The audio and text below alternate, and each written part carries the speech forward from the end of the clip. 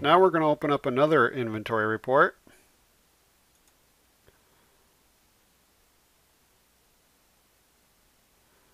This one called Inventory Stock Status by Item. And we want the dates to be for the month of March 030119, 033119, refresh. I'm going to close the Open Windows report so we can see the whole report better. And the main purpose of this report is to show how many we have on hand so that we know when we need to order some more carpets, draperies, lamps, or mirrors.